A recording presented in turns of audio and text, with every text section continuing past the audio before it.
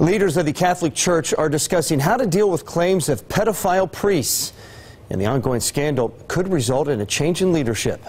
10 News' Kelly King has the possible resignation of a top official in this developing story. Kelly?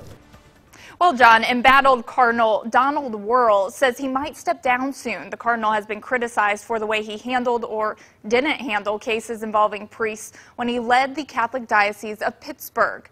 He's also accused of knowing about sexual abuse claims against his predecessor, Theodore McCarrick.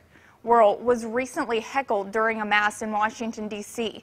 The Cardinal says he plans to meet with Pope Francis and discuss resigning as Archbishop of Washington. Wuerl defends the way he dealt with abuse allegations, but admits he made errors in judgment. I wish I could redo everything over these 30 years as a bishop and each time get it always right. The apologetic statements filled with regret and assurances of a better tomorrow are worthless, and they're rendered irrelevant and insulting by the harsh reality of the brutal tactics of the bishops and the clergy. Now, Pope Francis is scheduled to meet with church officials at the Vatican Thursday to discuss the scandal and talk about how to address the problem.